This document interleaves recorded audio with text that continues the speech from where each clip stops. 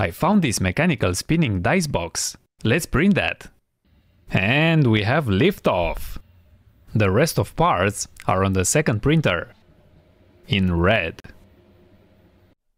I found a very cool stand for my Xbox controller. Let's print that.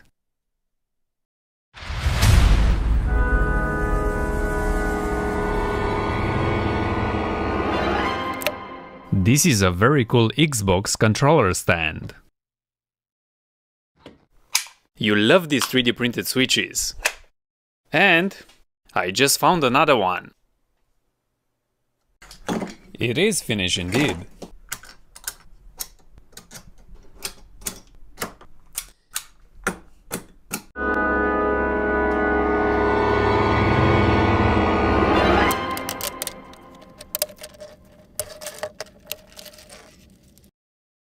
Then he tried